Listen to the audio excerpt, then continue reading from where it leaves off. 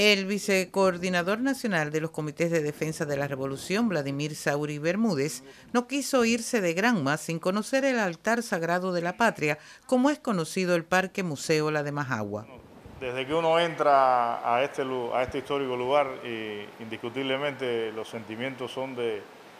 de, de grandeza, de amor a la patria, de reafirmación revolucionaria, porque ya aquí uno respira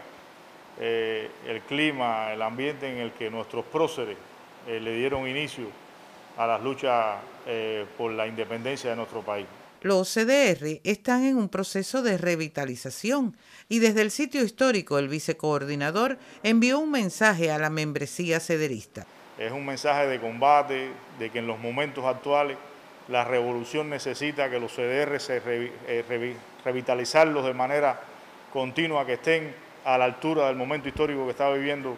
nuestro país. El abrazo del Jagüey y la rueda dentada del antiguo ingenio como símbolo de unión hizo al visitante reflexionar sobre la unidad, elemento imprescindible del quehacer cederista. Cuando el enemigo está apostando por destruirnos, por asfixiarnos económicamente,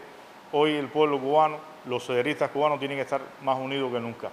porque esa unidad se traduce en victoria, en combate, en empuje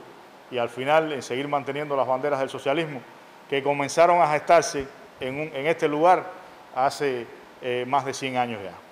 Reiniero Olivera y Cruz Ferrer Sánchez en directo.